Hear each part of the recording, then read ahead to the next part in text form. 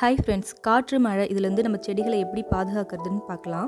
Rose வச்சுருக்கீங்கன்னா ரொம்ப height விட்டு வைக்காதீங்க. பூ நிறைய விட்டு வைக்காதீங்க. எல்லாத்தையும் கட் பண்ணிவிடுங்க டெரஸில் வச்சுருக்கீங்கன்னா கொஞ்சம் நெருக்கமாக வைங்க. அந்த மாதிரி டெரஸில் ஃப்ரூட் பிளான்ட் வச்சுருந்தாலும் நெருக்கமாக வைங்க. கம்பு வச்சுருந்தாலும் நம்ம க்ரோ பேக்கில் இருக்க மண் வந்து லூஸாக தான் இருக்கும். ஸோ சாஞ்சிடும்.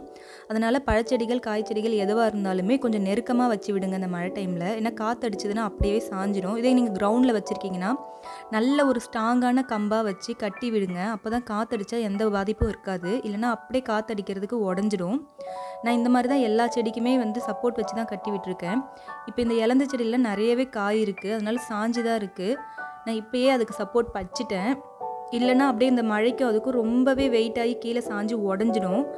வாழை மரம்லாம் வச்சுருக்கீங்கன்னா நல்லா ஒரு ரெண்டு மூணு கவக்குச்சா வச்சு நல்லா அதுக்கு சப்போர்ட் கொடுத்து விடுங்க. அப்போ தான் சாயாமல் இருக்கும். முடிஞ்ச அளவுக்கு நம்மளோட செடிகளை இந்த மழையிலேருந்தும் காற்றுலேருந்தும் பாதுகாத்துக்குங்க.